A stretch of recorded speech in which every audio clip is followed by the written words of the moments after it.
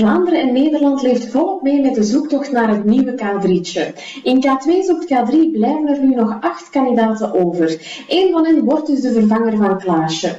We checken eens bij onze showbizwatcher Chloe wie zoal de topfavorieten zijn. Dag Chloe, wie wordt door de kijkers als favoriet beschouwd? Na Studio Show 2 zijn uh, vooral Amy, Julia en Diede veel besproken op sociale media. Veel mensen zien hen wel als de topfavorieten. En waarom juist zij drie? Ja, veel mensen hebben toch echt dat K3-gevoel bij die drie meisjes. Ja, en er zijn ook nog jongens in de wedstrijd. Wat wordt daar zo over gezegd?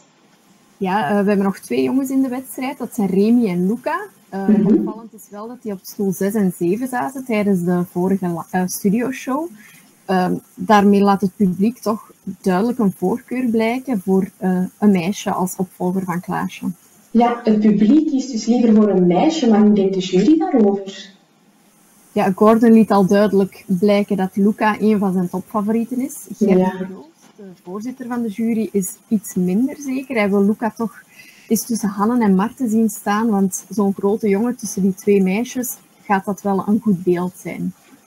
En hoe zit het met de andere kandidaten?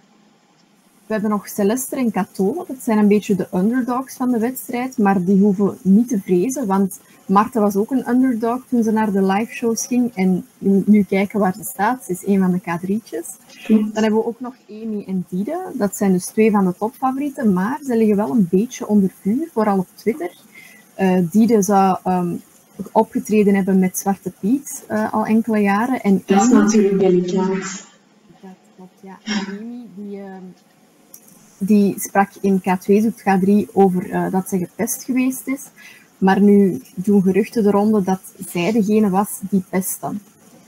En dan heb je ook nog Julia en Manu. Die zijn allebei gered uh, door Hanne en Marten um, na het einde van de, de studioshow.